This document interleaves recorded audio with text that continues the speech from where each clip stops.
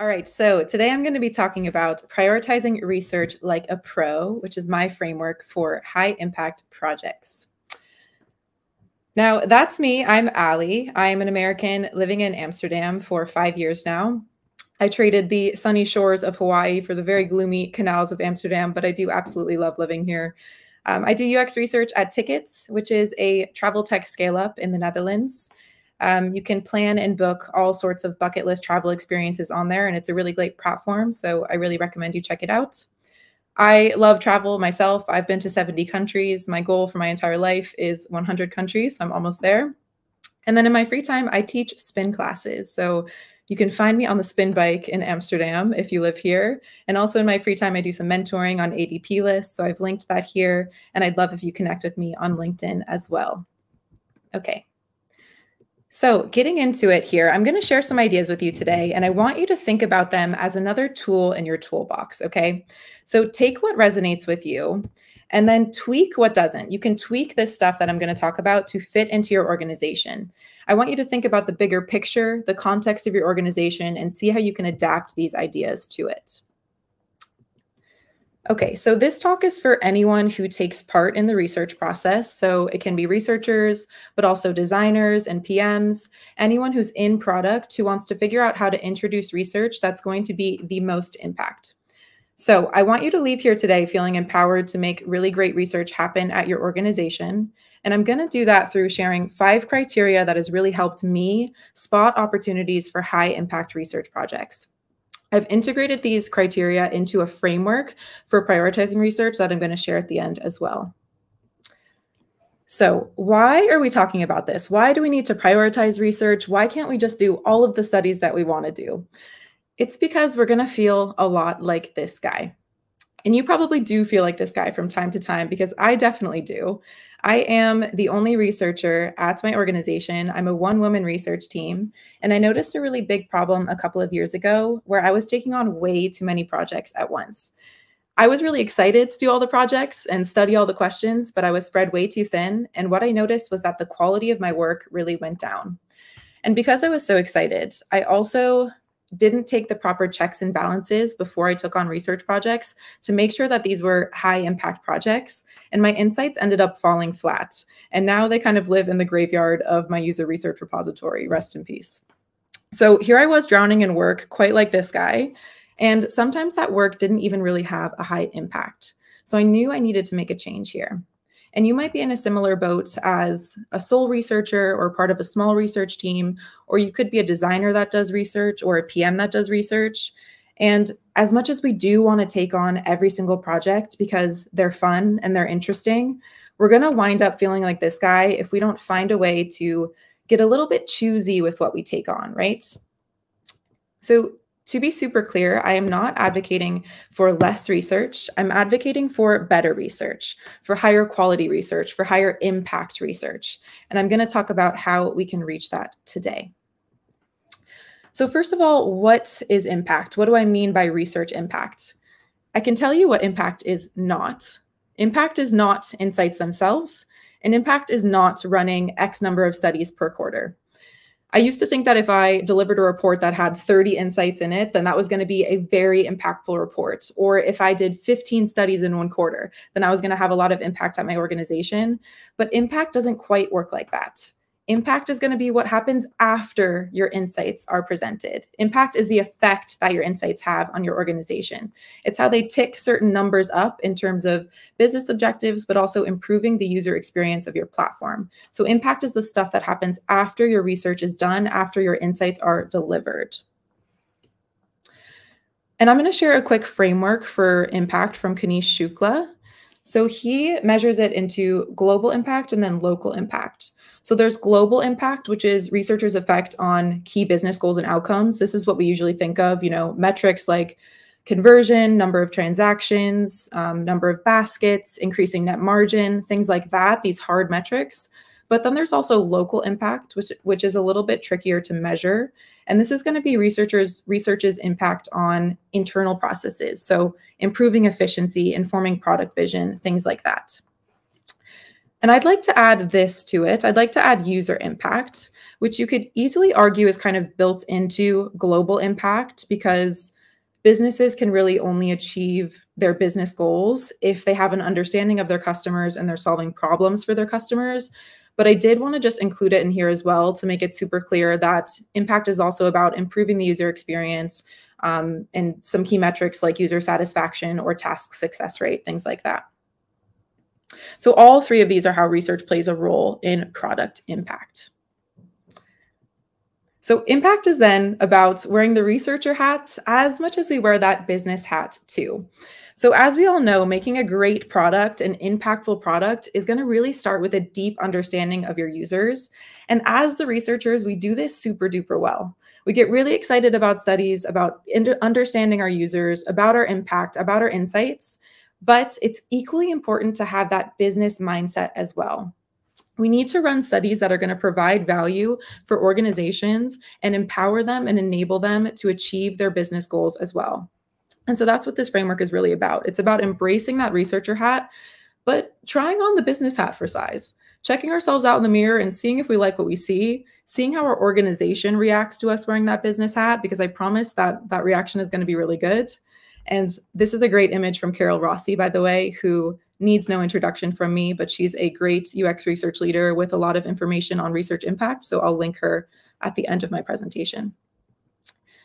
So just to recap so far, what we've, what we've learned is that not every single question that comes through our organization merits us doing full-blown research methodology to it. And that's because we don't have enough resources for this, but also from a business perspective, it's probably not the best choice. So then let's get into the meat of it. How do we actually spot those opportunities for high impact research? What are some of the guiding criteria that we can do to make sure that we're on track for impactful products? And here they are, boom. First, we've got scope. Scope is, okay, why is this project important? What user problems is it addressing? What business goals is it addressing? Um, it's about connecting the research to a much bigger context. And when you research in this space for things that are sufficiently important to organizations, that's where real value is going to lie. So you should skip projects if they're not tied to a user need or a business need, or ideally both. And this is going to be one of the very first questions you should ask yourself when you get a project request. You know, why is this project important to users or the business or both? Another criteria is going to be risk, okay? Product risk. So whenever you're building a product or features or ideas or designs or concepts, there are a lot of assumptions that we're making about it. You're assuming that the products um, will work for your audience. You're assuming that they're going to use the product. You're assuming that they're going to buy the product. And you do need to be comfortable with some level of assumptions and uncertainty because you can't know absolutely everything about how it's going to work before just releasing it out into the wild. But you can and you should write down all of your assumptions about the product or the feature or the design or the idea and figure out which ones are riskier and which ones are a little bit less risky. And you're going to invest in testing those riskier assumptions. So don't test the assumptions that you're pretty confident in. We're going to test the riskier assumption space. And I'm going to make this a little bit more concrete by bringing in the four product risks here. So is it valuable? Is it usable? Is it feasible? And is it viable? And these risks are probably no surprise to people who work in product, right? It's a tenant of product to start from a deep understanding of your users and then build something that's usable and has product value around that. But I do bet that some of you are looking at this and saying, like, Alli, this research can't address all of these product risks. And you would be 100% correct in saying that. Assessing product risk is a much bigger strategy that goes beyond just research's role. It involves product managers and engineers and tech leaders and a host of other product and tech folks. But research really can come in handy to de risk, especially value and usability risk. So, as researchers, we can provide a lot of clarity around who our users are and what their problems are so that the solutions and the features and the products that you're building are solving those most crucial problems. So we can get really, really deep into that problem space so that we're helping our organizations to build the right thing. But the overall point here is that there are going to be assumptions with every product, and we need to be aware of what they are And we need to prioritize testing the riskiest ones because that's where the biggest learning opportunity is going to be. I wish I had tons of time to dive more into product risk because it's a really important conversation, but I did link some uh, resources for it at the end of the presentation. Okay, next up is action. It's capacity. Does your team have the capacity to act on the insights that you're going to learn in this project? So anytime you take on a project, you should be really clear with the stakeholders that they need to make changes based on what we learn. And you need to get that confirmation from them that there are the changes that they can make in a decent time period. So let's say in a couple of sprints or within the quarter, are they going to be able to act on those insights that you learn? If they can't, then that's going to become lower on the, you know, the priority totem pole, on the research totem pole. And then you've got clarity. So if we already know about the topic, then there's really no need to do further research on it if we know enough about the topic. So, what you want to do is first think about your research questions and your research goals and explore other sources to answer them first. So, internally, this can look like looking at previous research that was done in this organization already. It might need an update if you look back on it, but check that research first. You know, check with your data team first. Check with your market research team, your marketing teams, check with your customer support teams to see what we know about the topic before going full steam ahead with the research project. And you can also look at these, these awesome external sources like Baymard Institute and Nielsen Norman Group, or if you're in a certain industry, there might be some published trends about that industry. But of course, if there's not enough and very little clarity still, then research. But you should just do these checks before to make sure that you're not re researching something that you already know enough about. And finally, we've got alignment. So you can think of alignment as a final check before actually proceeding with the research. So this is where you're going to make sure that all your research stakeholders have gotten eyes on the project, that you have buy-in where you need it, that you have all the perspectives that you would need. And you want to make sure everybody's on the same page about the learning goals. So if you have one stakeholder who has a certain learning goal and you didn't talk to this other stakeholder who's involved but might have a different learning goal, then you're missing out on 50% of the insights and 50% of the impact that you could really have there. So the key here is getting aligned with everyone before you move on with research. And like I said, it's a last check before you proceed. So I know that was a lot. And I know you might be thinking, okay, I have all this research work I already need to do, and now I need to apply all these criteria for high impact projects to it. But I want you to think about this as just a conversation starter with your team.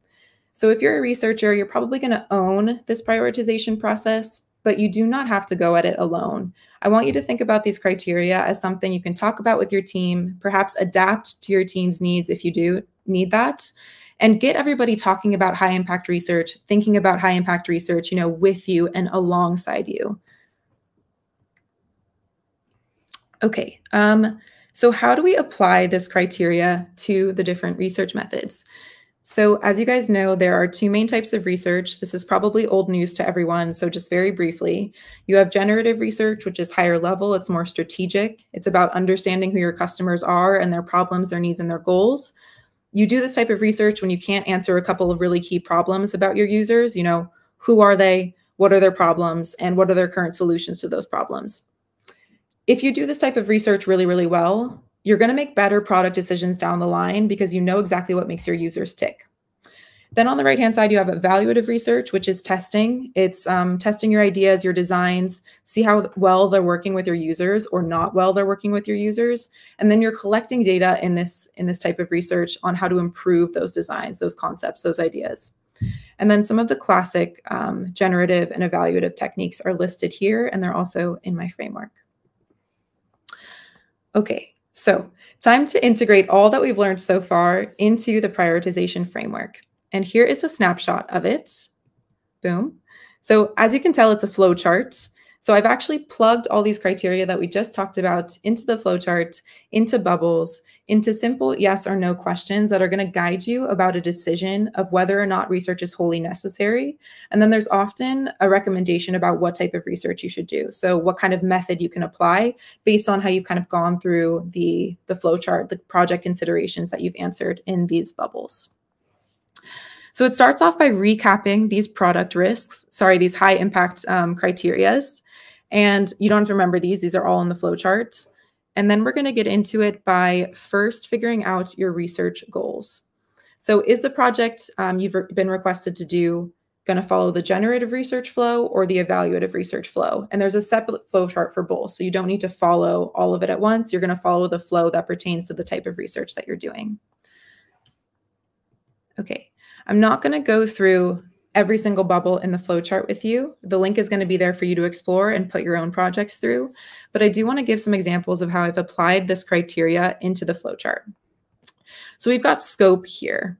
And in this framework, I'm asking you to ask yourself if the idea that you've been proposed is addressing a key user problem or business objective.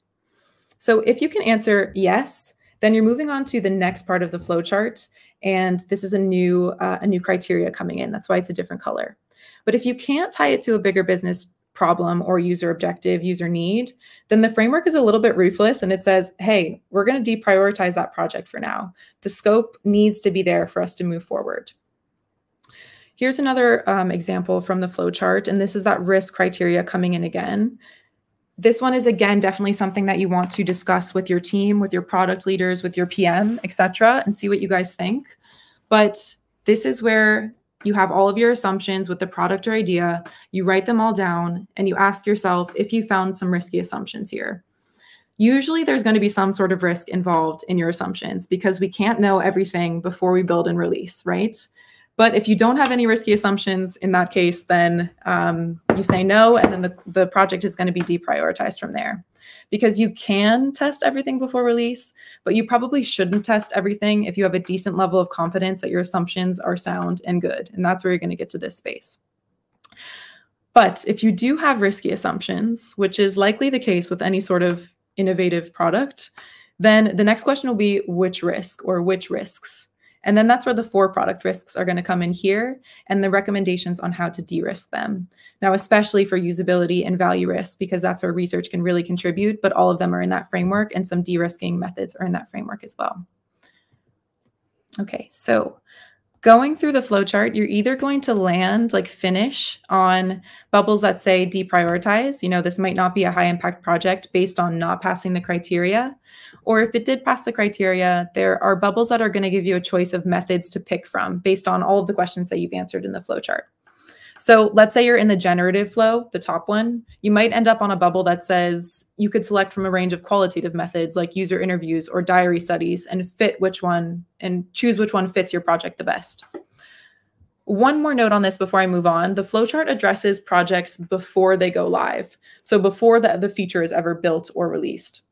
So you won't see release and monitor as a suggestion. You won't see A-B testing as a suggestion.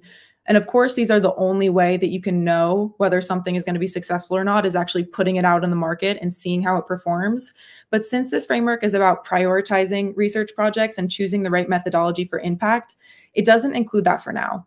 But it is my ultimate goal to make this a much bigger thing that encompasses all stages of the product development process and have it really useful for also like product managers who can choose what to do based on different um, criteria that they go through in the framework. But for now, it's just the pre release phase.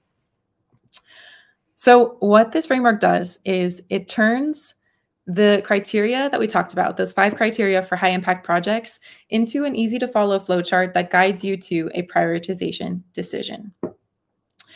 I want to speak about how you can adopt this framework into your workflow, how you can make it part of your work process. And step one is going to be having that centralized place to gather all of your research requests. So you might already have this, but if you don't, it's really, really important to have this space where you can collect this information that's going to help you prioritize. So you need to collect information like the learning goals, um, the background associated with it, so the business objectives, the user problems, the team's capacity to act on the insights, things like this all in one space. And I have an example here. I use a Jira, Jira board for this, um, and you can totally copy this template and use it yourself.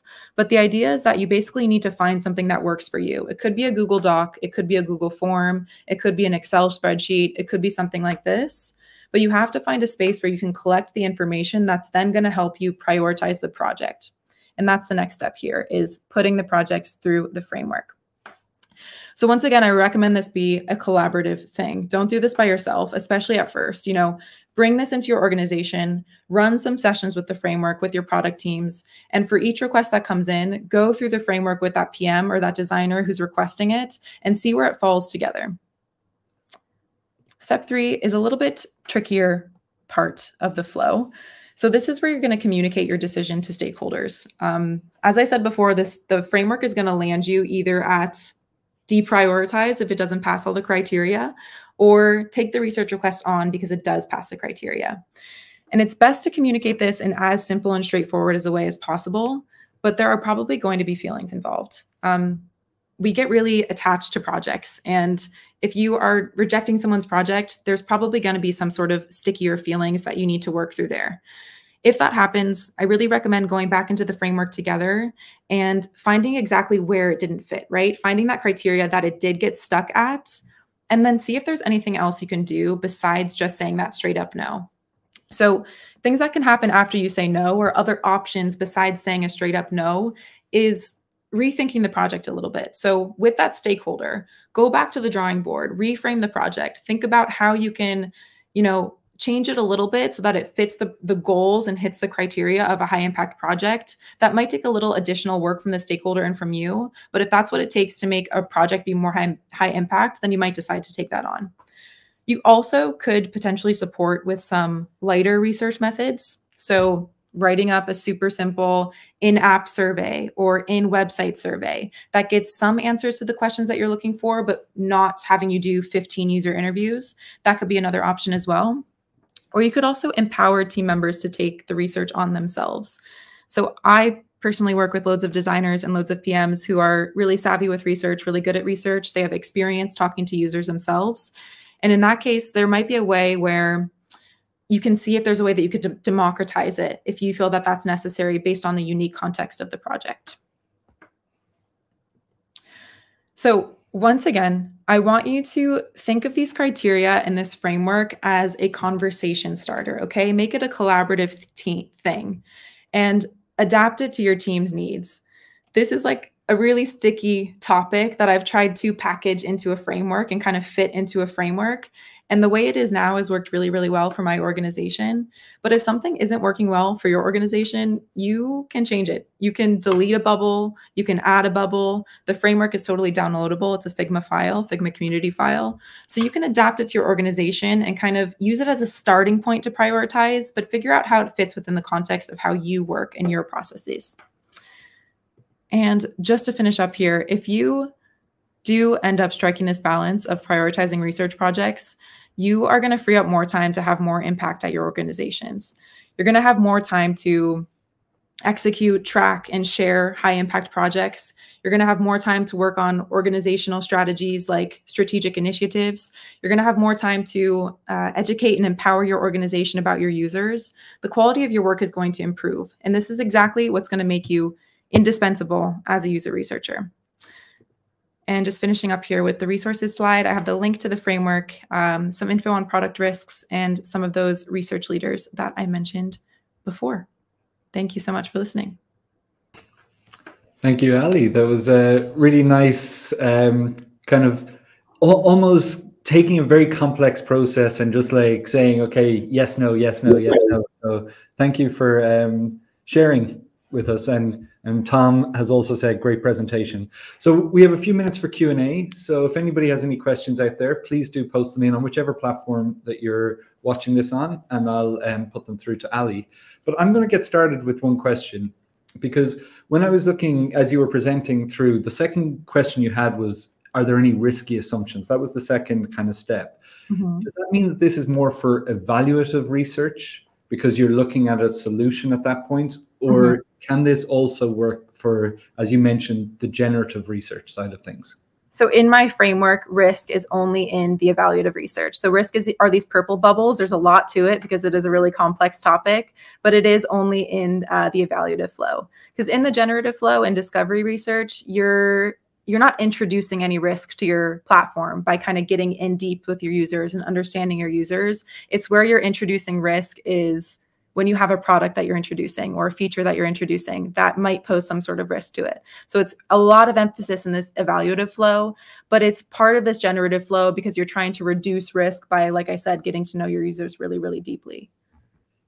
Excellent. Okay, so so yeah, there's the the two different sides are generative and evaluative. Mm-hmm. I, I, I missed that, but now that's great. Um, and then the other one that I was thinking about, because you mentioned, and I think it's a good point about team capacity, because mm-hmm. you don't want your research not to be used. The worst thing is always sitting on a shelf. But is there also a risk that if you're looking for at just capacity, you might deprioritize work that could have really good insights?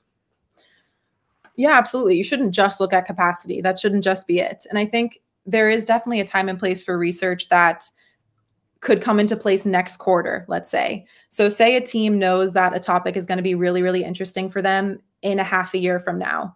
I think the best product teams have a vision of what's coming half a year from now. And that could be something that you're researching now so that you have those deep insights when the time comes. But I think the real question here is like, it has happened to me before with some projects where I've just been so excited to take it on and it actually isn't on their roadmap. So it's just that like checks and balances of making sure it can get on the roadmap whether you've agreed upon the timeline or not. So it should be in my in my opinion, you know, within a quarter, but if you guys have this agreed upon timeline of okay, this is going to come in later this year, that's also okay. But just that you guys have that understanding of okay, we are going to act on these insights and we know when and this is when. Brilliant. No, it's it's useful. I there's nothing more frustrating than doing research and letting it sit and um, kind of decay on a shelf. Yeah. Um, Brian, we have a, a, question from Anjali about where can we get the links. If you can share them, Alli, in, in our chat, I'll post those out to everybody because it'd be great if you can just share the the um, the link to your framework. That'd be great, and I'll share it out with everybody who's watching live at the moment. Okay, awesome. Yeah, I'll definitely share it. Brilliant. Um, we have got a last question come in from Amog, uh, so we'll try just conscious of time. Actually, what we'll do is I'll post it on. Uh, we have a community Slack channel, so I'll post it on that, and I'll invite you, Alli, as well. Um, and hopefully you can jump in there and answer the question. But I'm just conscious of time, so I uh, just want to say thank you very much once again, Alli, for sharing your insights. Thank you for listening.